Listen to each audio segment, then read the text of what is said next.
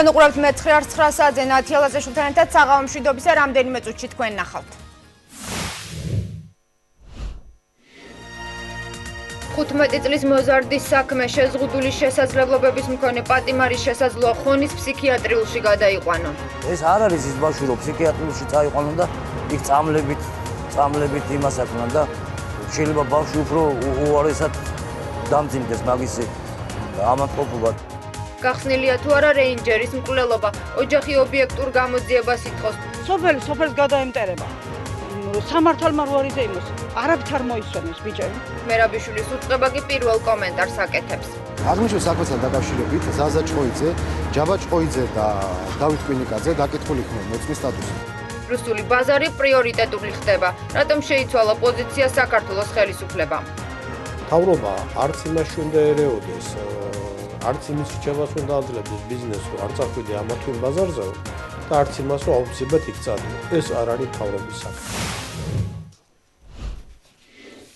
სახალხო დამცველი შეზღუდული შესაძლებლობების მქონე 15 წლის ბრალდებული შესაბამის დაწესებულებაში გადაყვანას ითხოვს. ტუღუში რეკომენდაციას მინის კალმახელიძეს აძლევს. ორთვიანი წინასწარი პატიმრობა მოზარდს ნიკორას მაღაზიიდან ერთი ბოთლი ლუდის ქურდობის ბრალდებით მიუსაჯეს. კომპანია ნიკორა, რომლის გამოც უნარ შეზღუდული ბავშვი ციხეში ზის დღეს მხოლოდ მწუხარებას გამოთქვავს. მოზარდი კი შესაძლოა 6 თვით ხონის ფსიქიატრიულში გაამწესონ. ჩემი გამოცდილებიდან გამომდინარეო, მე ვიციო რომ გადაყავთ იქაო რა, ხონშიო. ერთი ბოთლი ლუდის ქურდობისთვის ბრალდებული 15 წლის შეზღუდული შესაძლებლობების მქონე მოზარდი შესაძლოა ხონის ფსიქიატრიულ საავადმყოფოში მოხდეს. ამის შესახებ მოზარდის მამას წამების მსხვერპლთა ფსიქორეაბილიტაციის ცენტრის ადვოკატებმა განუმარტეს. ეს არ არის ის ბავშვი რომ ფსიქიატრიულში წაიყვანონ და იქ წამლებით წამლებით იმას აკნან და შეიძლება ბავშვი უფრო უარესად დამძიმდეს მაგისი ამათყოფობა შეზღუდული შესაძლებლობების მქონე არასრულწლოვანი გუშინ სახალხო დამცველმა გლდანის მერვე საპრობილის საავადმყოფოში მოინახულა. გიორგი ტუღუშმა გუშინვე ხათუნა კალმახელიძის უწყებას 15 წლის პატიმრის არასრულწლოვანთა დაწესებულებაში გადაყვანის რეკომენდაციით მიმართა. ჩვენ ეს მივიჩნიეთ აბსოლუტურად დაუშვებად სახალხო დამცველმა რეკომენდაციით მიმართა საჯავხების მინისტრს რომ ბავშვი განთავსდეს იმ პირობებში რომლებიც იქნება ადეკვატური მისი მდგომარეობის, ჯანმრთელობის მდგომარეობის და მისი ასაკის. შემთხვევა 17 მაისს კოსტავას ქუჩაზე ნიკორას მაღაზიაში მოხდა. აქ ამბობენ რომ 15 წლის მოზარდი 5 ლარი და 50 თეთრის ღირებულების ლუდის მოპარვას ცდილობდა. ნიკორაში დღეს მოზარდის პატიმრობასთან დაკავშირებით მწუხარებას გამოთქვავენ. ახში უდგავარცა ძალიან წოხაც რომ ესეთი ფაქტი მოხდა შემთხვევაში. მე არაფერს არ შემიძლია.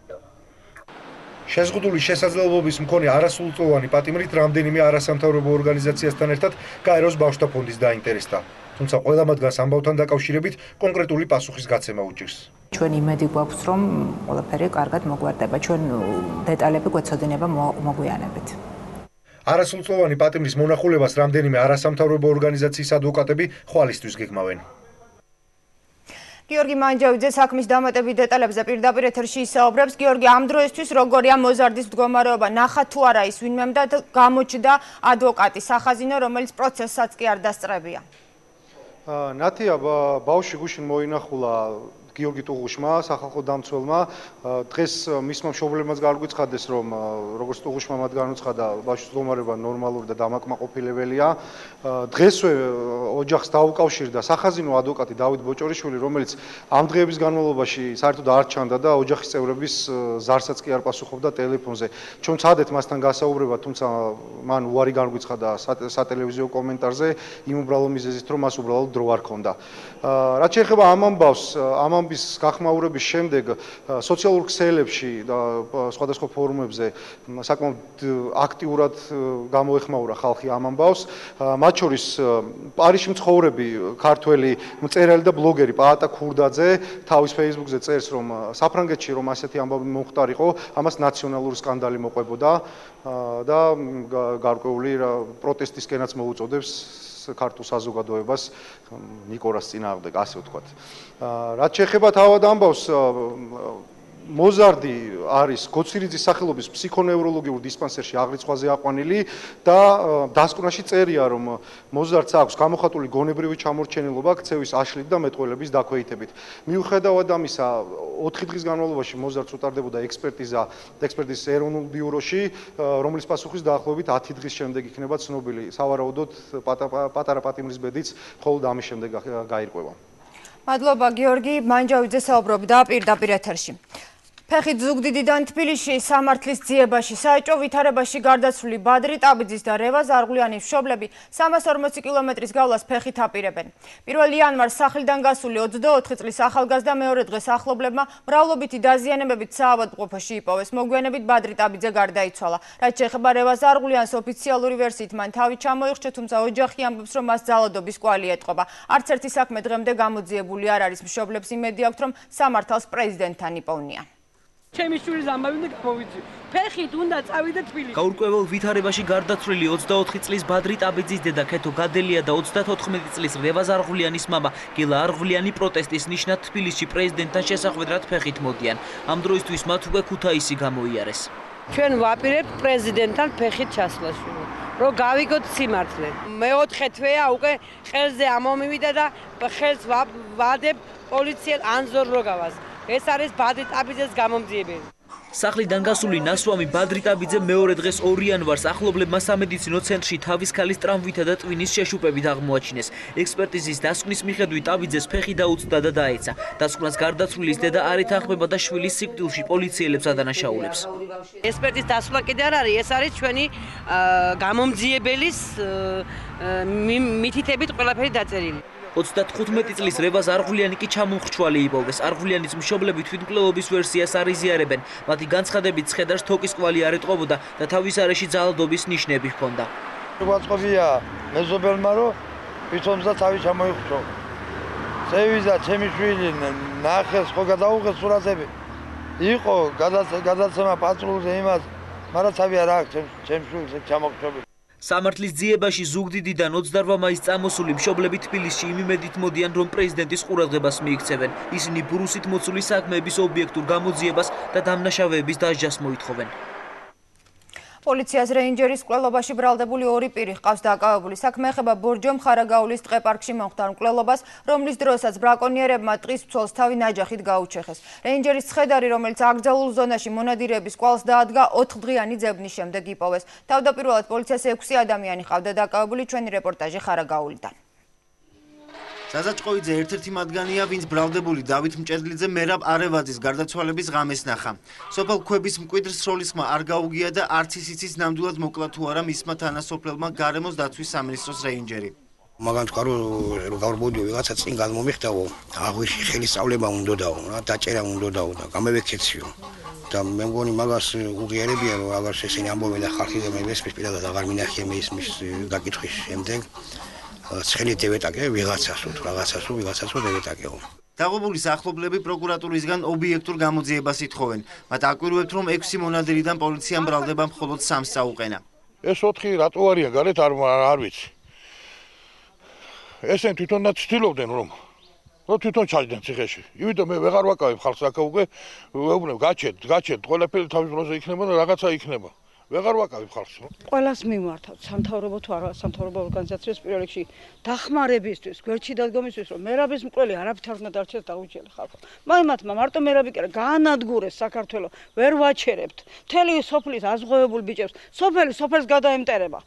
გარდაცვლილი სახლობელთა ეჭვი არივაძის ყრილობასთან დაკავშირებით შინაგან საქმეთა სამინისტროს ოფიციალურ განცხადებაში დადასტურდა. უწყების ინფორმაციით დავით მჭედლიძე იმის შიშით რომ უკანონო ნადირობისთვის არ დაიჯარიმებინათ, არივაძეს ჯერ ცხენი დაეჯახა, შემდეგ კი კეფაში ნაჯახი ჩაარტყა. აღნიშნულ საქმესთან დაკავშირებით ზაზა ჭყოიძე, ჯაბა ჭყოიძე და დავით კვინიკაძე დაკითხული იქნენ მოწმის სტატუსით, ხოლო ბესიკ ჭედლიძეს ბრალი წარედგინა საქართველოს სისხლის სამართლის კოდექსის 376 მუხლით, დავით ჭედლიძეს 119 მუხლით და ზაზა ჭედლიძეს საქართველოს სისხლის სამართლის კოდექსის 375 მუხლით. დაღუპულის ოჯახის წევრებისგან განსხვავებით შინაგან საქმეთა სამინისტროში აცხადებენ რომ 15 მაისის ღამეს ბორჯომ ხარაგაულის ტყეპარკში რეინჯერი ცეცხლსასროლი იარაღით არ მოუკლავთ. რუსული ბაზრის მიმართ საქართველოს მთავრობა პოზიციას იცვლის 6 წლის წინ დახურული სავაჭრო სივრცე ხელისუფლებისთვის დღეს ისევ პრიორიტეტული გახდა. სწორედ რუსეთის ბაზარს ასახელებს ქვეყნის მთავარ მიმართულება დღეს საქართველოს პრემიერ-მინისტრი, თუმცა ნიკა გილაური რამდენიმე თვის წინ ქართულ ბიზნესმენებს რუსულ ბაზარზე შესვლას მაღალი რისკების გამო არ ურჩევდა. რუსულ ემბარგოზე გამომუშავებული იმუნიტეტი ქართული ეკონომიკისთვის საკმარისი აღარაა. ხელისუფლებამ ფაქტობრივად აღიარა, რომ სხვა ქვეყნებთან ერთად რუსეთის ბაზარიც სჭირდება. ქართულ მეწარმეებს პრემიერ-მინისტრი გილაური კონკრეტულ მინიშნებას აძლევს. ექსპორტზე ორიენტირებულმა ბიზნესმა მოკლევადიან პერსპექტივაში რუსული ემბარგოს გარღვევა და ბაზარზე დამკვიდრება უნდა შეძლოს. სააგენტო პირველი წერს, რომ ნიკა გილაურმა უახლოესი 4-5 წლის განმავლობაში რუსული ბაზრის გახსნა საქართველოს მთავარ ეკონომიკურ მიმართულებებს შორის ერთ-ერთ ძირითად ამოცანად დაასახელა. კონკრეტული მექანიზმები თუ რა გზით შეძლებს ქართული ნაწარმი რუსულ დახლებზე შეღწევას პრემიერ-მინისტრს არ დაუსახელებია. მისი კაბინეტის წევრის ადრინდელი განცხადების მიხედვით შესაძლოა ეს მექანიზმები არც კი არსებობდეს. თუ რუსეთს არ უნდა რომ ასეთი კარგი პროდუქცია გქონდეთ თავიანთ ბაზარს, ეს მათი პრობლემაა. ჩვენ მოხარული ვიქნებით რომ თითოეული ბიზნესმენის დაწარმოები პროდუქცია შევიდეს სოფლიოს ყველა ბაზარზე. ჯერ კიდევ ერთი თვის წინ რუსული სავაჭრო სივრცე მთავრობისთვის პრიორიტეტი არ იყო. პარტია თავისუფალი საქართველოს ლიდერი კი იხსენებს, რომ ხელისუფლების მაშინდელ ეკონომიკურ აქცენტებს სხვა მიზეზები ჰქონდა. უკარანარევი ტონით სააკაშვილმა ჩაატარა არაერთი თათბირი და თქვა, რომ ხო არ გაბედა ვინმემ და მართლა ხო არ გააქვს რუსეთში პროდუქცია. ეხლა როცა სააკაშვილი რაღაცას ლაპარაკობს თან იმ ტონალობაში, როგორც მას ჩვევია, ჩვენ ყველანი კარგად ხვდებით, რომ ეს მარტო რჩევა არ არის. შიდა და საგარეო რისკების გათვალისწინებით ქართველი მეწარმეების უმრავლესობა რუსული ბაზრის ათვისებას ისევ ვერ ბედავს. მეტნაკლები წარმატებით ბიზნესი დღეს მხოლოდ დასავლურ და აზიურ ქვეყნებში დამკვიდრებას ცდილობს. მუშაობ ძირითადად ევროპულ ბაზრებზე, გვინდა ფეხი მოვიმაგროთ იქ და ჩვენი გაყიდვები გაიზარდოს და ამიტომაც ამ ეტაპზე აქცენტები არის გადატანილი უფრო ევროპული ბაზრების ათვისებაზე. ტრადიციულად ქართული ღვინო და ქართული კონიაკი მუდამ იყო მოთხოვნადი რუსეთის ბაზარზე და დაალაგებულ ვითარებაში და ასე ვთქვათ დაბალი რისკის შემცველ პირობებში რა თქმა უნდა მივიღებთ მონაწილეობას. თავრობის ეკონომიკური ხედვის მკვეთრი ტრანსფორმირების მიზეზებს ექსპერტები ჯერ ვერ ხსნიან. რეალური ფაქტორების გათვალისწინებით ეკონომისტები ამტკიცებენ, რომ ქართულ პროდუქტს რუსეთში ძველი პოზიციების აღდგენა გაუჭირდება. მიუხედავად იმისა, რომ არის გარკვეული სამარკო ღვინოები, რომელთაც აქვთ რუსეთში ცნობადობა, მათ დამატებით დასჭირდებათ გარკვეული აგრესიული მარკეტინგული პოლიტიკის ჩატარება, რომ რეკლამის თვალსაზრისით ის მიმზიდველი გახადონ ქართული ღვინოები რუსი მოხარებული. ქართულ-რუსული სავაჭრო ურთიერთობების შესაძლო აღდგენის შემდეგაც ლადო პაპავა ვარაუდობს, რომ დაბალ განვითარებული სამრეწველო სექტორი რუს მომხმარებელს მხოლოდ ტრადიციულ პროდუქტს შესთავაზებს. ბიზნესმენი დავით ბეგიაშვილი, რომელმაც ბიზნეს სექტორს ხელისუფლების რეჟიმის წინააღმდეგ გაერთიანებისკენ მოუწოდა, აცხადებს, რომ მას სოლიდარობა კოლეგებმა უკვე გამოუცხადეს. შვეიცარიაში მყოფი ქართველი ბიზნესმენი ქვეყანაში შექმნილ კლანურ მართლობაზე საუბრობს და ხელისუფლებას რეკეტში ადანაშაულებს. ბეგიაშვილი ამბობს, რომ მუქარა და ტერორი ხელისუფლების ბიზნესთან ურთიერთობის ერთადერთი მეთოდია. დავით ბეგიაშვილი საქართველოსი შეპესე ვაკე ხუთის მფლობელია. მის საკუთრებაშია ასევე ჭავჭავაძის გამზირზე არსებული მაღაზია ალბატროსი და ალბატროს დელუქსი, თუმცა ამ დროისთვის ორივე მათგანს ყადაღაადებს. მაგ ყოველდღიური კონსულტაციები ჩემ კოლეგებთან თავისთავად იზიარებენ ამ ჩემს ეს აზრი ყოველთვის იყო ოპოზიციაში არიან ჩემი კოლეგებიც თავისთავად და ერთი სიტყვით აქტიობა არის. ბეგიაშვილის შემთხვევა პირველი არ არის, როდესაც ბიზნესმენები ხელისუფლების მხრიდან სხვადასხვა სახის ზეწოლაზე საუბრობენ. ელიტ ელექტრონიკის ყოფილი მფლობელი ანზორ ქოქოლაძე ჯერ კიდევ პატიმრობისას წერდა, რომ მისი კუთვნილი 15%-ის აუქციონზე გატანა არაკანონიერად ხდებოდა. მიმეჩნევ რომ ეს არის იმარაკეთილსინდისიერი თაღლითური გეგმის გაგრძელება რომელშიც აქტიურად არიან ჩართული პროკურატურა, TBC ბანკი, შემოსავლების სამსახური, თბილისის მერი და სასამართლო, სხვადასხვა ფინანსური ინსტრუმენტებისა და სახელმწიფო ძალაუფლების ბოროტად გამოყენების გზით. ანალოგიურ შემთხვევას ჰქონდა ადგილი ქიბარ ხალვაშის შემთხვევაში. მას რამდენიმე კომპანია, მათ შორის ბილდინგ კომპანი არტი ჯგუფი და რუსთავი ორი დაათმობინეს. ბიზნესმენი ქიბარ ხალვაშიც ხელისუფლების მხრიდან შევიწროებაზე საუბრობდა. ბიზნეს გარემოში არსებულ რთულ ვითარებაზე საუბრობენ პარტია მრეწველობა გადაარჩენ საქართველოში და ახალგაზრდა ფინანსისტებისა და ბიზნესმენების ასოციაციაში. 15 წუთში ხდება ბიზნესის დაწყება, ხოლო მისი შემდგომი ფუნქციონირება კი ესე იგი თუ სახელმწიფო კლანების ამ ფაროლობის გარეშე მთავრდება ბიზნესმენის დაჭერით, მისი ქონების ჩამორთმევით. საკმარისია მხოლოდ და მხოლოდ ის საგადასხობი კანონმდებლობა წავიკითხოთ, სადაც უშუალოდ გამომრიცხავი პირობები არის ჩადებული, სადაც ძალიან დიდი უფლებები აქვს საგადასახადო სისტემის მესვეურებს შეუბატონო კანონით მინიჭებული. ბიზნესმენი დავით ბეგიაშვილი უკვე ერთი თვეა შვეიცარიაში იმყოფება. მისი თქმით, ქვეყნის დატოვების ერთ-ერთი მიზეზი ხელისუფლების მხრიდან ზეწოლა გახდა. ლაზიკის ამერიკელი ავტორები სკანდალური სასამართლო პროცესებით იმუქრებიან პრეზიდენტ სააკაშვილსა და მოლაპარაკებებში ჩართულ ხელისუფლების წარმომადგენლებს ისინი ტყუილსა და ქურდობაში ადანაშაულებენ. მეცხრე ართან ინტერვიუში ლაზიკის ავტორები ხელისუფლების წარმომადგენლების გვარებს ასახელებენ და ამბობენ, რომ მაღალი რანგის ჩინოვნიკებმა მათ უკანონო გარიგება შეთავაზეს. ამერიკელ ბიზნესმენებს იმედა დარსალია შეერთებულ შტატებში შეხვდა. I don't like liars. And that man lied to me from the day he said hello to me and shook my hand. ბიზნესმენი ენდრიუ მურძა ქართულ პარტნიორებზე საუბრობს. საქართველოს ყოფილი ელჩი ამერიკაში ბათუ თუთელია, საელჩოს წარმომადგენელი ნიკო რევაზიშვილი და პრეზიდენტის ადმინისტრაციის უფროსი დავით ყეშილაშვილი ის ადამიანები არიან, ვისაც ენდრიუ მურძა ასახელებს და ვინც მისი თქმით საქართველოს ლაზიკის პროექტის განსახორციელებლად პრეზიდენტის სახელით მის ავტორებთან მოლაპარაკებებს აწარმოებდა. ოღონდ აქ იყო შემოთავაზება არანაირი ქალაქი გავაკეთოთ მარტო ხამანწკების ბიზნესი. ენდრიუ შეთავაზეს 8-დან 10 მილიონამდე და მეც იგივე შემოთავაზეს, ოღონდ ამ 10 მილიონიდან 2 მილიონი უნდა მიმეცა ბათუ ქუთელიასთვის. ლაზიტის ავტორებს მეცხრე არქი ვაშინგტონთან ახლოს პასადენაში შეხვდა. ბიზნესმენები ყვებიან, რომ სწორედ ამ ოფისში დაიბადა შავი ზღვის სანაპიროზე ხამაცკების ბიზნესის განვითარების იდეა. რედმის მიხედვით ამ ბიზნესში რამდენიმე ათასი დევნილი დასაქმდებოდა. უშახელი კი თვი ახლოს სპეციალურად გაშენებულ პატარა ქალაქში დასახლდებოდა, რომელსაც ლაზიკა დაერთმეოდა. We want to help Georgia. ჩვენ გვინდა დავეხმაროთ საქართველოს. კვლევებმა დაგვარწმუნა, რომ შავ ზღვაში ხამანწკები განსაკუთრებით სწრაფად მრავლდებიან. ეს ბიზნესი ქვეყნისთვის მომგებიანი იქნებოდა. ჩვენ ხამანწკების ექსპორტს ვაპირებდით. ეს ბიზნესი უნდა ყოფილიყო ვაშალომიძის ხელში და მის ჯგუფის ხელში. ეს როგორც მე ამიხსნა რევაზიშვილმა და ისინი იქნებოდნენ ჩემი პარტნიორები. ამის გარეშე არაფერი არ იქნებოდა. რაელის ამერიკელი ბიზნესმენების ლაზიკას ნელი სათქმელია, თუმცა ისინი კიდევ ერთ წყალზე მომუშავე ჩქაროსნული მატარებლის გერმანზე მუშაობენ, რომლის დანერგვასაც პირველად ლაზიკაში აპირებენ. ენდრიუ მურძა საქართველოს პრეზიდენტს ქურდობასა და ტყუილში მაშინდე გადანაშაულებს, რაც სააკაშვილმა ანაკლიასა და ყულევ შორის ჯერ ქალაქ ლაზიკის პროექტის შემდეგ კი ამავე სახელწოდების საბრძოლო მანქანის პრეზენტაცია მოაწყო. ლაზიკის ავტორები სკანდალური სასამართლო პროცესებით იმუქრებიან. Whatever it takes, we're going to win. თქვენ უყურებთ მე-9 საათზე ჩვენი მოსმენა ასევე შეგიძლიათ რადიო უცნობზე FM 98. ამერიკელი სენატორი რიჩარდ დურბინი თბილისი მერიოჩი ოპოზიციური პარტიის წარმომადგენლებს შეხვდა შეხვედრას კოალიცია ქართულ ოცნებაში შემავალი პარტიები, ახალი მემარჯვენეებისა და ქრისტიან დემოკრატების ლიდერები ესწრებოდნენ. საუბარი საარჩევნო გარემოსა და საარჩევნო პროცესებთან დაკავშირებულ საკითხებს შეეხო.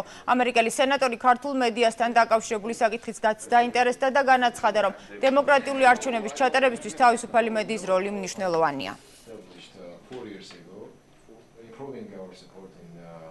მაგრამ კიდევ ერთხელ ხაზგასმით აღნიშნა, რომ ამერიკის შეერთებული შტატების მთავრობა არ აპირებს რომელიმე პოლიტიკურ ლიდერს დაუჭიროს მხარი. მათი სურვილია და ისინი ყველა ღონეს ეხმარენ, რომ ქართულ ხალხს მიეცეს თავისუფალი არჩევანის საშუალება. დავაფიქსირებთ, რომ კონსტიტუცია იძლევა იმის საშუალებას, რომ ადამიანი, რომელიც შეიძლება არ არის პარლამენტის წევრი, გახდეს პრემიერ-მინისტრი. აი, კითხვა სწორედ სენატორისა ეს იყო, რომ შეძლებდა თუ არა ის პრემიერ-მინისტრობას, თუ კი არ იქნებოდა საპარლამენტო სიაში. ამაზე მიიღო პასუხი და ნამდვილად გაუგებარი მისთვის ნამდვილად არ იქნებ არ იყო არაფერი. ჩვენ არჩევნების საკითხებზე ვისაუბრეთ. ყველანი ვთანხმდებით იმაზე, რომ არჩევნები ღია, თავისუფალი და სამართლიანი უნდა იყოს. ამასთან ხაზი მინდა გაუსვა იმას, რომ არჩევნებში გადამწყვეტ სიტყვას ქართველი ამომრჩეველი იტყვის. დემოკრატიული არჩევნების ჩატარებისათვის ასევე მნიშვნელოვანია თავისუფალი მედიის არსებობა. მედია უნდა იყოს ხელმისაწვდომი. ნებისმიერ კანდიდატს საშუალება უნდა ეძლეოდეს თავისუფლად გამოთქვას თავისი აზრი. ხელისუფლება რეაგირებს მთავრობა არჩევნებამდე საჯარო მოხელეების სამსახურიდან პოლიტიკური ნიშნით დათხოვნაზე ფაქტობრივად მორატორიუმს აცხადებს. უშიშროების საბჭოს უწყებათა შორისი კომისია ადმინისტრაციულ სტრუქტურებს მოუწოდებს არჩევნების დასრულებამდე შეაჩერონ შემცირების პროცესი. კომისია სახელმწიფო უწყებებს რეკომენდაციას იმ მოტივით აძლევს, რომ თავიდან იქნა საცილებული პოლიტიკური ნიშნით გათავისუფლების შესახებ არსებული საფუძვლიანი თუ უსაფუძვლო ბრალდებები. ჩვენი საუბრებით ორი კვირის მანძილზე ისმინებოდა, რომ მე ვფიქრობ, რომ ყოველივე ამას პოლიტიკური მოტივი უდევს საფუძვლად. საქართველოს ძიუდოს ფედერაციის უცხოეთთან ურთიერთობის კოორდინატორი სოფო ცირეკიძე, რომელიც ფედერაციაში 2008 წლიდან მუშაობდა, ოლიმპიურ ჩემპიონ ზურაბ ზვიადაურთან მეგობრობის გამო გაათავისუფლეს სამსახურიდან, რომელიც თავის მხრივ პოლიტიკურ გაერთიანება ქართულ ოცნებაში გაწევრიანდა. ამირეკა გენერალურმა მდივანმა შევედი მასთან და მითხრა, რომ მოშაბათ დაიწყო ძალიან ცუდი ამბებითო და იცი რა სამწუხარო ჩენი და ზურა ზვიადაური სატელეფონო საუბრები მოვისმენ მოსმენილიაო და ფიქსირებულიაო და მე მე უცებ დავასწარი რომ ანუ მე უნდა წავიდე სამსახურიდან უნდა დავტოვო ხო? ჩემი ადგილი ხო და კი სამწუხაროდ ეს ესეაო. პოლიტიკური ნიშნით სამსახურიდან გათავისუფლების საკითხი მთავრობის აქილევსის ქუსლი გახდა. სპეციალური განცხადება დღეს შინაგან საქმეთა მინისტრის მოადგილემ გააკეთა აუშვებელი და განუსაწინააღმდეგოა საჯარო მოხელეების სამსახურიდან გათავისუფლება მათი ან მათი ოჯახის წევრების პოლიტიკური შეხედულების გამო ეს არის ცალსახა და შემთხვევები სადაც ესეთი ნიშნები შეიძლება იკვეთებოდეს უნდა გახდეს შესწავლის საგანი საპარლამენტო უმრავლესობის წევრები უწყებათა შორისი კომისიის გადაწყვეტილებას მხარს უჭერენ ამასთან აცხადებენ რომ სამსახურიდან პოლიტიკური ნიშნით საჯარო მოსამსახურეების გათავისუფლების არც ერთი დადასტურებული ფაქტი არ არსებობს. უნდა ხაზგასმით ვთქვათ, რომ არც ერთი დოკუმენტური, არგუმენტირებული მტკიცებულება ესეთი განაცხადების ჯერ ამ სამოქალაქო სექტორს არ წარმოუდგენია. პოლიტიკური ნიშნით ჩინოვნიკების სამსახურიდან დათხოვნის არაერთი ფაქტია შესული საერთაშორისო გამჭირვალობა საქართველოში. ორგანიზაციის დირექტორის ეკა გიგაურის განცხადებით საუბარია რამდენიმე ათეულ შემთხვევაზე. ჩვენ ვიღებთ ინფორმაციას ამ პოლიტიკური ნიშნით გათავისუფლებებთან დაკავშირებით. ზოგი ფაქტი არის დადასტურებული, ზოგი არა, მაგრამ ჩვენ საბოლოო ანგარიშს სულ ცოტა ხანში შემოგთავაზებთ. საერთაშორისო გამჭვირვალობა საქართველოს ფაქტობრივ მასალას დასკვნის სახით ერთ თვეში წარმოადგენს. საქართველოს ახალგაზრდა იურისტთა ასოციაცია გამოცდების ეროვნულ ცენტრში მიმდინარე მოვლენებს ეხმაურება და გამოძიებას ითხოვს. მიგვაჩნია, რომ ვითარება ბადებს ეჭვს გათავისუფლების პოლიტიკურ მოტივაციასთან დაკავშირებით. თუ გათავისუფლების მიზეზი მართლაც პოზიციების პრინციპული შეუთავსებლობა იყო, რატომ გათავისუფლდა მიმინოშვილი ზუსტად იმ პერიოდში, როდესაც ქვეყნის მასშტაბით გამოსაშვები გამოცდები მიმდინარეობს. საი აქვე ეხმიანება გამოცდების ეროვნული ცენტრის თანამშრომლების მიმართ ზეწოლის ფაქტებს. კერძოდ, ჩვენთვის ცნობილი გახდა, რომ იმ ადამიანების მიმართ, რომელმაც უკვე დაწერეს განცხადება სამსახურიდან გათავისუფლების შესახებ ან განცხადების დაწერას მომავალში აპირებენ შინაგან საქმეთა სამინისტროს კონსტიტუციური უსაფრთხოების დეპარტამენტის თანამშრომელთა მხრიდან ადგილი ჰქონდა გარკვეული დაშინებისა და ზეწოლის შემთხვევებს. მოვითხოვთ, რომ სამართალდამცავმა ორგანოებმა დაუყოვნებლივ გამოიძიონ მუქარისა და ზეწოლის ფაქტები და სისხლის სამართლის დანაშაულის ნიშნების გამოკვეთის შემთხვევაში დასვან შესაბამისი პირების პასუხისგებაში მიცემის საკითხი ნათქვამია საიას განცხადებაში. ქართულ ოცნებას შოთა ხაბარელიც უერთდება სპორტის დამსახურებული ოსტატი დღეს ვაჟიშულთან ერთად ბიძინა ივანიშვილს ესტუმრა და მხარდაჭერა გამოუცხადა. ხაბარელის განცხადებით დღეიდან იგი აქტიურად ერთვება პოლიტიკურ ბრძოლაში. შოთა ხაბარელი ევროპისა და ოლიმპიური თამაშების ჩემპიონია. ევროპის ჩემპიონატების ვერცხლისა და ბრინჯაოს, ასევე მსოფლიოს ჩემპიონატის ბრინჯაოს პრიზიორი. ის 2006 წელს ევროპის საუკეთესო მწვრთნელად არის დასახელებული. დაჯილდოებულია საპატიო ნიშნის ორდენით. აბსოლუტურად ერთნაირი ხედვები გვაქვს და ერთნაირად ვუყურებთ დღევანდელ სიტუაციას. და ერთნაირად ვაცნობიერებთ ესევია შოთას რომ ერთადერთი სწორი გზა და სწორი ადგილი არის დღეს ჩვენი პოზიცია და ჩვენ ერთად უნდა მოახერხოთ და დაიბრუნოთ ჩვენი ქვეყანა და კაცმა რომელმაც ამდენი საქმე გააკეთა და ამხელა ღირსება მისცა ჩვენს ქვეყანას ჩვენ მას შესაძლებლად უნდა მოვექცეთ. მე მინდა გულწრფელი ვიყო ჩემი და გულშემატკივრის წინაშე და მათ უთხრა რომ მე მიყვარს ჩემი ქვეყანა. მე მიყვარს ჩემი ხალხი. და ეს არაერთხელ დამიმტკიცებია და ზუსტად აი ამ სიყვარულმა გადამაწყვეტინა რომ დამგარიყავი ბატონო ბიზნეს გვერდში და ეს ნიშნავს რომ მე ვარ ხალხის გვერდში კოალიცია ქართულმა ოცნებამ ქუთაისის მერიისგან 7 ივნის მანიფესტაციის ჩატარების თაობაზე ისევ უარი მიიღო. მერიამ უარის მიზეზად სახელოვნებო ფესტივალი არტ ივნისი დაასახელა, რომლის ფარგლებშიც 1 ივნისიდან 1 ივლისამდე ქუთაისის უბნებში სხვადასხვა კონცერტია დაგეგმილი. ქალაქის მერია კოალიციას აქციის ჩასატარებლად დავით აღმაშენებლის ძეგლის მიმდებარე ტერიტორიას თავაზობს. ქართულმა ოცნებამ ადგილობრივ თვითმმართველობას ცენტრალურ მოედანზე მანიფესტაციის გამართვის თხოვნით 1-28 მაისს მიმართა.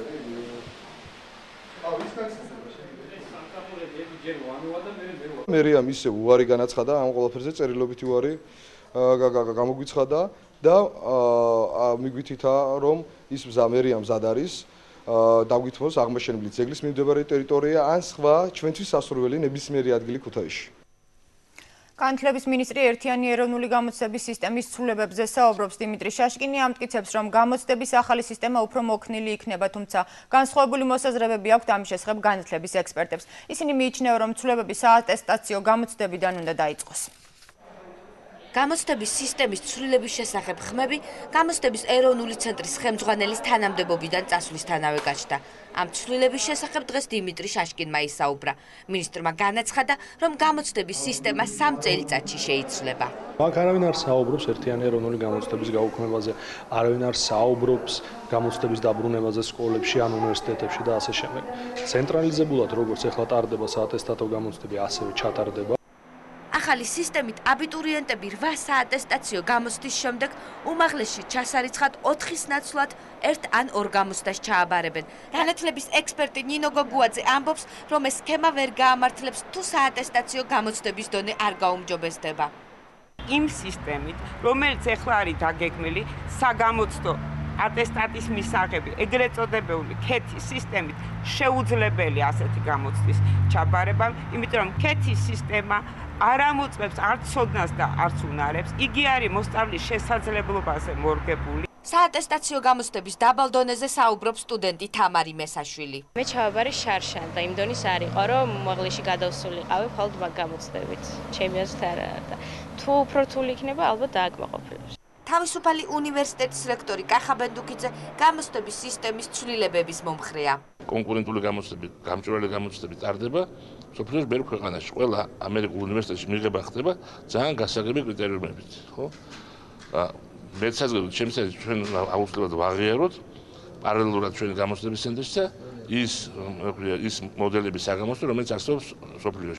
განათლების სამინისტრო მოსალოდნელ ცვლილებებს სხვა ქვეყნებში მსგავსი მოდელის წარმატებით ხსნის. კოლხეთის დაბლობის 852 ჰექტარ ფართობზე დაცული ტერიტორიის სტატუსი მოიხსნება და იგი მრავალხრივი გამოყენების ზონად გამოცხადდება. ეს ინიციატივა გარემოს დაცვის კომიტეტში დღეს მესამე მოსმენით განიხილეს. ცვლილებების თანახმად კოლხეთის დაბლობის ფოთიანაკლის მონაკვეთზე ნებისმიერი ბიზნეს საქმიანობის წარმოება იქნება შესაძლებელი. ოპონენტები მიღებულ ცვლილებებს კატეგორიულად ეწინააღმდეგებიან და აცხადებენ, რომ საქართველოს ხელისუფლება ჭარტენიანი ტერიტორიების შესახებ საერთაშორისო კონვენციას არღვევს. კოლხეთის დაბლობის ნაწილს დაცული ტერიტორიების სტატუსი ჩამოერთმევა და ნაგრძალის ადგილზე ფოთი ანაკლიის დამაკავშირებელი გზატკეცილი აშენდება. ეს ინიციატივა პარლამენტმა პირველ საკომიტეტო მოსმენაზე განიხილა.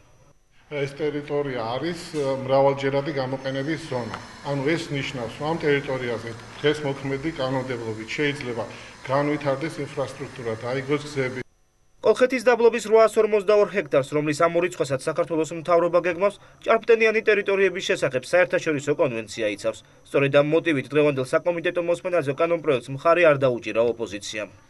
ფორმალური საფუძვლები გულისხმობს ჰარმონიზირებას ეროვნული კანონმდებლობისა საერთაშორისო კანონმდებლობასთან, ვინაიდან საერთაშორისო კანონმდებლობა იერარქიულად ამ შემთხვევაში უფრო მაღლა დგას ვიდრე ეროვნული კანონმდებლობა. კანონპროექტის მუშაობის პროცესში ჩართულები არ ყოფილან არც გარემოს დამცველები. ბუნების დაცვითი ორგანიზაციები იმის ორგანიზაციებია, რომ ისინი უნდა პროტესტს აცხადებდნენ მსგავსი პროექტებისთვის. მათთვის თავარია ბუნები ეკოლოგიური პროექტები, სახელმწიფოსთვის თავარია ეკოლოგიური და ეკონომიკური პროექტების თანათავსებადობა. გარემოს დამცველების თქმით, თუკი კანონპროექტის ავტორები ეკოლოგების დასკვნას გაითვალისწინებდნენ, ცნობილი გახდებოდა, რომ დაცული ტერიტორიების ის ნაწილი, რომლის ამორიცხვასაც მთავრობა გეგმავს, კოლხეთის დაბლობისთვის სასიცოცხლო მნიშვნელობისაა. გზის გაყვანა იქ ნამდვილად არ შეიძლება, იმიტომ რომ ეს გადის ზედ ნაპირზე და პრაქტიკულად ეს არის ხელოვნური ხელოვნური კი არა, ბუნებრივი ჯებირი ზღვის და ხმელეთ შორის შექმნილი, რომელიც არ აძლევს საშუალებას ზღვას შემოვიდეს კოლხეთის დაბლობს. თუ რამე იცავს ხმელეთს, იცავს ზუსტად ეს ჭაობების სისტემა. კოლხეთის დაბლობი რამდენიმე უბნად იყოფა. მათგან ანაკლია ჭურიის მონაკვეთი ბიომრავალფეროვნების თვალსაზრისით ყველაზე გამორჩეულია. აქ წყლის ფრინველთა ყველაზე იშვიათი ჯიში ბინადრობს, რის გამოც 1996 წლიდან საერთაშორისო ყურადღების ცენტრში მოექცა. მერის მიერ შეძენილი 1000 ლარიანი კვიპაროსები ქართულ ბაზარზე 10-15 ლარი ღირს. ბარათაშვილის ქუჩაზე ერთი თვის წინ დარგული ძვირადღირებული კვიპაროსები კი უკვე გახმა. დავალება უკვე მიღებული აქვს დასუფთავების სამსახურს ეკოლოგიური სამართლის ცენტრი პასუხისგებლობას თბილისის გამწვანების სამსახურს აკისრებს. ზვირადღირებული კვიპაროსების რეალური ფასის დადგენა ადგილობრივ ბაზარზე ვცადეთ. აღმოჩნდა, რომ პირამიდული კვიპაროსის ღირებულება თბილისში 10-დან 15 ლარამდე მერყეობს. ხის ფასი სიმაღლესთან ერთად იზრდება. ჩვენ მაგალითად ვყიდით 15 ლარად. აი რო გითხრა, საშუალო ფასია ჩვენი დანარჩენი ძირად ყიდიან ეგენ. საერთოდ კიპარისების ფასია მეტრა 10 ლარი სტანდარტია, ასე ითვლება, მაგრამ ნუ დიდი პარტიის აღებაში დაკლება შეიძლება თანხის და ყველანაირად მოლაპარაკება და 7 ლარად 8 ლარად შეიძლება. აგრონომების ინფორმაციით კვიპაროსი ქუჩაშიც ადულად ხარობს და განსაკუთრებული მოვლაც არ სჭირდება. მთავარია ჩარგვისთანავე რამოდენიმე დღის განმავლობაში წყალი მიეცეს, რომ თესმი გაიდგას და მიწა შეეთვისოს. მე როქვი არა, მე როქვი ყველანაირად ბუნებრივი მორწყვითაც უკვე თვითონ გაძლებს და გაიხარებს. კვიპაროსის მაქსიმალური ფასი სანერგემეურნეობაში 100-150 ლარია. კვიპარისი ყველაზე კარგი ხარისხის, ალბათ 100-დან 150 ლარამდე იმერყევებს. ათასლარიანი კვიპაროსები, რომელიც ბარათაშვილის ქუჩაზე სულ 120 დაირგო და საერთო ღირებულებამ 225000 ლარი შეადგინა, უკვე გამხმარია. ეკოლოგიური სამართლის ცენტრის ხელმძღვანელის თქმით, მერიამ ხეების მოვლა დაავალა დასუფთავების სამსახურს, რომლის თანამშრომლებს მცენარეების მოვლის არც კომპეტენცია და არც ვალდებულება არ აქვს. ეს არის კიდევ ერთი კორუფციული დანაშაული და ის რომ green service თხოვენ პასუხს აღნიშნულ საკითხთან დაკავშირებით ეს არის გაუგებარი იმიტომ რომ green service თუ უნდა თავის პროდუქციას მილიონ ლარად შეაფასებს შენ რატო ყიდულობს ამას როცა იცი რომ აღნიშნული პროდუქცია უფრო ნაკლები ღირს თბილისის მერია 1000 ლარიან გამხმარ კვიპაროსებზე კომენტარს არ აკეთებს. შეკითხვაზე უზრუნველყოფს თუ არა green service ბარათაშვილის ქუჩაზე ახალი ხეების დარგვას, პასუხი ვერც მერიისგან და ვერც კერძო კომპანიისგან ვერ მივიღეთ. ჰომოფობიის წინააღმდეგ მიმართული აქციის დროს დაზარალებულები დამნაშავების დასჯას ითხოვენ. იდენტობის 10 საჩივარი შინაგან საქმე და სამინისტროში და პროკურატურაში ორშაბათს შევა. როგორც ორგანიზაციაში აცხადებენ აქციის მონაწილეთა მიმართ მუქარის ფაქტები დღემდე არ წყდება რამდენიმე ადამიანმა მუქარის გამო პოლიციას უკვე მიმართა. რუსთაველის გამზირზე 17 მაისს ჰომოფობიის საწინააღმდეგო მსვლელობისას დაზარალებულები პოლიციას და პროკურატურას მიმართავენ. ასოციაცია იდენტობაში ფიზიკური და სიტყვიერი შეურაცხყოფისა და მშვიდობიანი შეკრების უფლების შეზღუდვისთვის ორგანიზაციის წევრთა და აქციის სხვა მონაწილეთა 10 საჩივარი მზადდება. გვაქვს ჩვენ მომზადებული 10 საჩივარი და ორ შაბათს უკვე ჩვენ წარუდგენთ როგორც მელაბიშვილის უწყებას ისე სოდელავას პროკურატურას წარუდგენთ და შემდგომ მათ უკვე იმსჯელონ და მისცენ კვალიფიკაცია როგორც მათმადიდებელ მშობელთა კავშირის ასე პოლიციელის და პოლიციელების და პატრულის ქმედებას თუ უმოქმედობას ვიცოდი რომ გამორიცხული არაფერი არ იყო. მიხეილ ხალიბეგაშვილი ერთ-ერთი მათგანია ვინ 17 მაისს აქციაში მონაწილეობდა. ის ასევე ერთ-ერთია 10 მომჩივან შორის. მიხეილი ამბობს რომ აქციის შემდეგ მუქარი შეტყობინება Facebook-საც მიიღო და ამის შესახებ პოლიციასაც ცნობა. ქუჩაში ძალიან აგრესიულად არის ხალხი გაწყობილი, ვინც ცნობს და ვინც მიცნობს აქციის შემდეგ და უბანში მე თავარია ყველაზე დიდი პრობლემები ამასთან დაკავშირებით, რომ იყო ესეთი საუბრები, რომ საერთოდ აღარ შემიშვა უბანში და ასეთი დისკრიმინაციის მსხვერპლი ვარ ამ აქციის მერე უფრო. როგორც შინაგან საქმეთა სამინისტროს საზოგადოებასთან ურთიერთობის სამსახურში გვითხრეს სექსუალურ უმცირესობათა წარმომადგენლების მიმართ მუხარის ორ ფაქტზე რამდენიმე ადამიანი პოლიციამ უკვე დაიბარა და სიტყვიერად გააფრთხილა. შინაგან საქმეთა სამინისტროში მიიჩნევენ, რომ 17 მაისის აქციაზე პოლიციის ქმედება სათანადო იყო. ამაზე უარესები ხდება დისკრიმინაციას გულისხმობ ადამიანის საერთოდ თბილისში და საქართველოში, თუმცა ეს კამერების მიღმართ შეება და რაღაც რაღაც მომენტში ზოგჯერ საზოგადოების მიღმართ რჩება ხოლმე ეს პრობლემა. როგორც იდენტობაში გვითხრეს საგამოძიებო ორგანოების მხრიდან აქციის მონაწილეთა მიმართვების რეაგირების გარეშე დატოვების შემთხვევაში 10-ვე საჩივარი სტრასბურგის სასამართლოში გადაინაცვლებს. სოფლიოში მიმდინარე დღის მთავარი ამბები რადიკალი ისლამისტები ევროვიზიის წინააღმდეგ. აზერბაიჯანის მედიამ ქვეყნის უშიშროების მიერ მოწოდებული ვიდეო მასალა გაავრცელა რომელზეც ტერორისტთა ჯგუფი აზერბაიჯანის ტერიტორიაზე საღვთო ომის ჯიჰადის მოწოდებით გამოდის. ბაქოში ტერაქტების დაგეგმვის ბრალდებით გუშინ სამართალ დამცველებმა 40 ეჭვმიტანელი დააკავეს. ისლამური ჯგუფის წევრები აზერბაიჯანში ჩრდილო კავკასიიდან გადავიდნენ. Milli Təhlükəsizlik Nazirliyinin iki əməkdaşı დაგესტანსკო ფრონტა სალე ბუბინსკი მე დაღესტანის ფრონტის ემირი ჯიჰადისთვის აზერბაიჯანში ვაგზავნი მუჯაჰედებს. ჩემმა ძმებმა ბოლო 3 წელი დაღესტანში იბრძოლეს. ჩვენმაც ვენდობით, დაგეხმარებით იარაღით, ფულით და ინფორმაციით. ვინც ჯიჰადის მხარეს დგას, აზერბაიჯანში შემოგვიერთდეს. 77 ადამიანის ყოლობაში ეჭმიტანი ლანდერს ბრეივიქს სასამართლო პროცესზე ახალი დეტალი გახდა ცნობილი ნორვეგიელი ექიმების ვარაუდით ტერაქტის მოწყობის დროს ბრეივიკი ნარკოტიკული ნივთიერების ზემოქმედების ქვეშ იმყოფებოდა. ტერორისტის მიზანი დანაშაულის დროს ფსიქოლოგიური ბარიერის გადალახვა იყო. ტერაქტამდე ანდერს ბრეივიკი მცირე დოზის ნარკოტიკული თრობის ქვეშ იმყოფებოდა. ასეთი ვარაუდი ტოქსიკოლოგიისა და ნარკოტიკების მოხმარების კვლევითი ცენტრის დირექტორს იორგ მორლანდს აქვს ბრეივიკის დღევანდელი პასუხის შემდეგ ეჭვი უფრო განყარდა. 22 ივლისს თუ მიიღეთ ECA-ის პრეპარატი? დიახ, ეს სიმართლეა. სამი ინგრედიენტი ერთმანეთში აურია და მივიღე 50% ძლიერი დოზა ვიდრე ჩვეულებრივი სამომხმარებლო პრეპარატია. ბრეივიკმა აღიარა, რომ ტერაქტამდე ორი კვირით ადრე სპეციალური კოქტეილი სვამდა. უტოიას კუნძულზე გამგზავრებამდე რამდენიმე საათით ადრე კი ასპირინის, კოფეინისა და პრეპარატ ECA-ის ნაზავი მიიღო. ბრეივიკის მიზანი ემოციების კონტროლი იყო. სანამ ამ კამპანიას მოვაწყობდი გამძლეობისთვის სტიმულატორების სხვადასხვა დოზა მივიღე. ამ პრეპარატის მიღების შემდეგ ტვინი უფრო მეტად ისრუტავ ჟანგბადს და ფსიქიკურად უფრო მდგრადი ხდები. ექიმებმა რამდენიმე ნივთს მიაგნეს და დაასკვნეს, რომ ბრეივიქს მცირე დოზის ნარკოტიკული ნივთიერება ჰქონდა მიღებული. მან ეს პრეპარატი ღამის პირველის ნახევარზე მიიღო. ჩვენ აღმოვაჩინეთ ეფედრინის კვალი. ექიმების განცხადებით ბრეივიკი ასთმის საწინააღმდეგო მედიკამენტებსაც იღებდა. ტერაქტის დროს კუნძულ უტოიაზე 69, ოსლოში კი 8 ადამიანი დაიღუპა.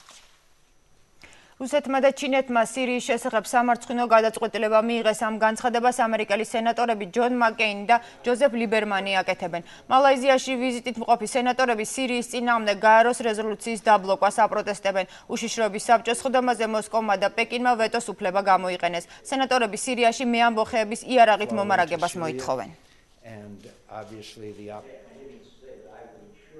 რუსეთი სირიის ხელისუფლების იარაღით მომარაგებას აგრძელებს. აშკარაა, რომ ბაშარ ასადის დასამარცხებლად ოპოზიცია მზად არ არის. ძალაუფლების შესანარჩუნებლად რეჟიმი ადამიანების დახოცვას, გაუპატიურებას და წამებას განაგრძობს. სამარცხინოა, როდესაც გაეროს უშიშროების საბჭო სირიის წინააღმდეგ კონკრეტულ ნაბიჯებს რუსეთისა და ჩინეთის ვეტოს გამო ვერ დგამს. საზარალი შემთხვევა კანადაში მკვლელობაში ეჭმტანმა პორნო ფილმების მსახიობმა ადამიანის სხეულის ნაწილები პოლიტიკოსებს ოფისებში პოსტით გაუგზავნა. გამოძიების თანახმად სხეულის ნაწილები სავარაუდოდ ერთი ადამიანისაა, რომელსაც მკვლელი იცნობდა. მოკლულის იდენტიფიკაცია ექსპერტიზის დასრულების შემდეგ მოხდება. ამ ახალგაზრდას კანადის მასშტაბით ეძებენ 29 წლის ლუკა პოკო მაგნოტა ადამიანის მკვლელობასა და სხეულის დანაწევრებაშია ეჭმიტანილი. ცნობილია, რომ პირად საბუთებში იგი ორ ფსევდონიმს იყენებს. საქმე, რომლისთვისაც ეჭმიტანილი იძებნება საზარელია. ოტავაში კონსერვატიული პარტიის ოფისში გუშინ საფოსტო გზავნილი მიიღეს, რომელშიც ადამიანის მოჭრილი ფეხი აღმოჩნდა. ამანათიდან საშინელი სუნი ამოდიოდა. ეშემზარავი ამბავი არაზროს დაგვავიწყდება. მეორე ამანათი, რომელშიც მოკვეთილი ხელი იყო ლიბერალური პარტიის ოფისამდე ვერ მივიდა, რადგანაც ფოსტის თანამშრომლებმა ყუთი საეჭოდ მიიჩნიეს. ორივე შემთხვევაში გამოგზავნის ველში არარსებული მისამართი იყო მითითებული. მაშპოტებს ის ფაქტი, რომ ვიღაც ამ სამიზნედ პოლიტიკური პარტიები აირჩია, ვინიც ის სხეულის დანარჩენი ნაწილები სად გაიგზავნა. არც ერთი პოლიციელი, ვინც იმ ღამით მორიგეობდა მსგავსი კრიმინალური მოვლენის მომსწრე არასდროს ყოფილა. საშინელ დანაშაულთან გვაქვს საქმე. კვლელობის კვალი მონრეალშიც აღმოჩნდა, სადაც ნაგავ საყრელზე ჩემოდანში თავისა და კიდურების გარეშე ცხედარი აღმოაჩინეს. გამომძიებლებმა შემთხვევის ადგილის სიახლოვეს ეჭმიტანილის ბინასაც მიაკლიეს, სადაც ჩხრეკვისას სისხლის კვალი იპოვეს. როგორც როგორც გაირკვა ლუკა მაგნოტამ ბინა 4 თვის წინ იქირავა. მისამნებისას არასდროს პასუხობდა, თავსაც კი არ მიქნევდა. პოლიციას ხელში ჩაუვარდა ასევე ვიდეო მასალა, რომელზეც სავარაუდოდ აღნიშნული მკვლელობაა ასახული. მითრომნის მობილური საარჩევნო კამპანია ორთოგრაფიული შეცდომით დაიწყო. რესპუბლიკელების პრეზიდენტობის კანდიდატი შტაბმა iPhone-ისთვის სააგიტაციო პროგრამა შექმნა, რომლის საწყის გვერდზე ლოზუნგში უკეთესი ამერიკის ნაცვლად უკეთესი ამერიკია წერია. ქვეყნის სახელმწიფოში შეცდომამ მითრომნის ხარდამჭერების აღშფოთება გამოიწვია და სოციალურ ქსელებში განხილვის ყველაზე პოპულარული თემა გახდა. მითრომნის შტაბმა უხერხული ფაქტის გამო ბოდიში მოიხადა და შეცდომაც მალევე შეასწორა. ბათუმში შესაძლოა ქუჩა გადახურონ. ქალაქის ცენტრალურ ნაწილში მემედ აბაშიძის ქუჩის გადახურვისთვის ბათუმის მერია 2 მილიონ 300.000 ლარს ითხოვს. თუმცა პროექტი პირველ ეტაპზე ჩავარდა, რადგან მასში არ იყო დაზუსტებული გადასახური ქუჩა, საინჟინრო, კლიმატური და სამშენებლო მასალების სახეობები. სავარაუდოდ ბათუმის საკრებულო ქუჩის გადახურვის პროექტს ივნისის დასაწყისში ისევ მიუბრუნდება. ეს ბათუმის ერთ-ერთი ცენტრალური ქუჩაა. მან შესაძლოა მალე სახე რადიკალურად შეიცვალოს და საქართველოში პირველი გადახურული ქუჩა გახდეს. მართალია ჯერ არავინ იცის ვინ როგორ და რით გადახურავს მემედ აბაშიძის ქუჩას, მაგრამ ბათუმის მერია იდეის განხორციელებისთვის 2 მილიონ 300 ლარს საკრებულოსგან უკვე ითხოვს. ქალაქის მერიაში ამბობენ, რომ პროექტზე ქართველი და უცხოელი სპეციალისტები მუშაობენ. როგორც კი იქნება ეს პროექტი სრულყოფილი სახით საზოგადოებას მივაწვით, გავაცნობთ და ამის შემდგომ მოხდება ჩასმა შესწრების გეგმაში კანონმდებლობით ადგილი პროცედურების გავლა და გამოცხადდება ტენდერის, რათა შეერჩეული იქნეს ის კომპანია, ვინც მოახდენს ამ შემოშევების წარმოებას. მემედ აბაშიძის ქუჩის გადახურვის იდეას პრეზიდენტის ფანტაზიის ნაყოფს უწოდებენ ბათუმის საკრებულოს ოპოზიციონერი წევრები. ქრისტიან-დემოკრატი ნაზიბ როლაკობულაძე ამბობს, რომ ქალაქში ყველაფერი ერთი პირის გემოვნებით წყდება. ოფიციალურად ეს რა თქმა უნდა არის მერიის მიერ შემოტანილი ინიციატივა, თუმცა როგორც სხვა ინიციატივები, როგორც ყბადაღებული საათები, ძეგლები და ასე შემდეგ, მე ვფიქრობ ვფიქრობ, რომ არის ერთი ადამიანის ინიციატივა და ფანტაზიის ნაყოფი და ეს ადამიანი არის საქართველოს პრეზიდენტი მიხეილ სააკაშვილი. მოულოდნელ სიახლეებს მიჩვეულ ბათუმელებს ქუჩის გადახურვის იდეა არ გაგვირებიათ, თუმცა პროექტის შესახებ შეფასებები არაერთგვაროვანია. თუ ეკეთება ამას ეგ მიზანი რომ ხელოვანი ხალხი შეიკრიბება, სადაც მოხდება გამოფენების მოწყობა ხალხების და სხვა სხვა მომღერლები იქნება თუ პოეტები თუ მწერლები თავი დატრმოს აიგეთავენ ადამიანები მონია ურიგო არა ნამდვილად. ამ იდეას ვერ დავეთანხმები იმიტომ რომ ფიქრობ ჩვენი თქვათ ბათუმის ეკონომიკური და სოციალური მდგომარეობა ზოგადად მოსახლეობის და ასე შემდეგ არ არის მზად იმისათვის რომ ესეთი პროექტები დაფინანსდეს. ბათუმის საკრებულო ქუჩის გადახურვის თემა სავარაუდოდ ივნისის დასაწყისში მიუბრუნდება. პროექტის ინიციატორები ფიქრობენ რომ იდეის დამტკიცების შემთხვევაში მემედ აბაშიძის ქუჩა ახალ ფუნქციას შეიძენს და წვიმის დროს დამსვენებლების მთავარი თავშესაფარი გახდება ყველაზე ფერადი შოუ თბილისის ძველუბანში დღეს მეიდანში იტალიის რესპუბლიკის დაარსების 66 წლის თავთან დაკავშირებით იტალიელ მებაირაღეთა უჩვეულო წარმოდგენა გამართა. ღონისძიება იტალიის ელჩმა ფედერიკა ფავიმ გახსნა. წარმოდგენას საქართველოსი აკრედიტებული ელჩები და დიპლომატიური კორპუსის წარმომადგენლები ესწრებოდნენ. დიპლომატებმა წუთიერი დუმილით მიაგეს პატივი იტალიაში გუშინ მომხდარი მიწისძვრის შედეგად გარდაცვლილებს. ექსკლუზიურად მეცხრე არქისტვის იტალიელმა მუსიკოსებმა და მებაირაღეებმა შოუს დაწყებამდე რამდენიმე ნომერი შეასრულეს. შემდეგ კი შუა საუკუნეების ტრადიციულმა იტალიურმა სანახაობამ თბილისის ძველუბანში შემოაბიჯა. მებაირაღეობა იტალიაში სპორტის ერთ-ერთი ყველაზე პოპულარული სახეობაა. ჟონგლიორი მასიმო ამუცნაური სპორტის ჩემპიონია. Uh, we play with flag ეს არის სპეციფიური სანახაობა სპორტის და მუსიკის ერთგვარი შერწყმა. ეს ტრადიცია იმ დროიდან იღებს სათავეს, როცა იტალია ორად იყო გაყოფილი და ხშირად იბრძოდა. მე ბედნიერი ვარ, რომ ამ ღონისძიებაში მონაწილეობდა დღეს საქართველოსში ვარ. შოუ რომელიც შუა საუკუნეებით თარიღდება დღეს საქართველოსში პირველად ჩატარდა და იტალიისა და საქართველოს დიპლომატიური ურთიერთობის 20 წლის იუბილეს მიეძღვნა. ეს განსაკუთრებული დღესასწაულია ჩვენთვის და ძალიან მინდოდა თქვენთან ერთად აღვენიშნა. ეს არის ძალიან დიდი და ექსტრაორდინალური სანახაობა. შუა საუკუნეების დროინდელი კომუნიკაციის გამომხატველი წარმოდგენა. მოხარული ვარ, რომ ამის შესაძლებლობა მომეცა. ეს არის ჩემი საჩუქარი თბილისისთვის. შოუში ერთდროულად მუსიკოსები და სპორტსმენები იღებენ მონაწილეობას. ყველაზე ფერადი იტალიური შოუ ღიაცის ქვეშ ქართველი მაყურებლისთვის იტალიის 8 ქალაქიდან და 6 რეგიონიდან ჩამოსულმა მონაწილეებმა წარმოადგინეს. და ბოლოს გოგი ახალკაცი თავისი მატრიცით გოგი ვინ ექნებიან დღეს შენი სტუმრები და რა არის მთავარი თემა საღამომშვიდობისა? საღამომშვიდობისა ნათია ჩვენ განვაგზავნებთ სპორტისა და პოლიტიკის ურთიერთკავშირებზე საუბარს. დღეს ჩვენი სტუმარი იქნება საქართველოს ძიუდოისტთა ნაკრების ყოფილი მწვრთნელი შოთა ხაბარელი, რომელიც ქართულ ოცნებას შეუერთდა და თანდათან ბიზინა ივანიშვილთან დაკავშირებული მოჭიდავეების რაოდენობა იზრდება. პრაქტიკულად შეიძლება ითქვას, რომ მთელი ოლიმპიური ნაკრები საქართველოს ოცნებას უჭერს ხარს. ძალიან საინტერესოა თავისთავად. ამის შემდეგ ვისაუბრებთ ეკონომიკურ თემებზე. ჩვენი სტუმარი იქნება პრაქტიკულად უკვე ჩვენი მუდმივი ეკონომიკური მიმოხილველი რეზო საყევარიშვილი. საუბარი იქნება საბანკო კრედიტებზე, უფრო ზუსტად კი მათ სიძვირეებზე, სიძვირეზე რამდენიმე დღის წინ პრეზიდენტმა გამოთქვა მოსაზრება რომ საბანკო კრედიტები საქართველოში უნდა გაიაფთეს, რამდენად შესაძლებელია ეს, რამდენად შესაძლებელია რაღაც ადმინისტრაციული წესით ბანკები აიძულო კრედიტები გაიაფონ. ეს ცალკე თემაა, თუმცა მეორე მხრივ არ არის საიდუმლო რომ საქართველოში საბანკო კრედიტები მართლაც ძალიან ძვირია, რამაც მოსახლეობას გარკვეული პრობლემების კი შეუქმნა, არსებობს ინფორმაცია, რომ დაახლოებით 70000 ადამიანი შესაძლოა ახლოს პერიოდში ბინების გარეშეც კი დარჩეს, იქიდან გამომდინარე, რომ ვერ ახერხებენ საბანკო კრედიტების დაფარვას და გადაცემის ბოლოს კიდევ ერთხელ ვისაუბრებთ რეგიონულ ჟურნალისტებთან დაკავშირებულ პრობლემას, ნახოთ იმ პრობლემასთან, რომელსაც რეგიონულ ჟურნალისტიკას სახელმწიფო უქმნის. გუშინ ეროვნულ ეროვნული უშიშროების საბჭოსთან არსებულ უწყებათა შორის კომისიას კომისიის წარმომადგენლები შეხვდნენ რეგიონული ჟურნალისტების გაერთიანებების ხელმძღვანელებს და მათ გარკვეული დახმარებაც კი აღუქვეს. აი ეს იქნება ჩვენი თემები დღეს. მადლობა და წარმატებები ახალკაცის მატრიცა ახალი ამბის დასრულებისთანავე გავა ეთერში თქვენ უყურებით მე 9:09 საათზე ნათი ალაზაშვილთან ერთად მე ხვალამდე გემშვიდობით ნახვამდის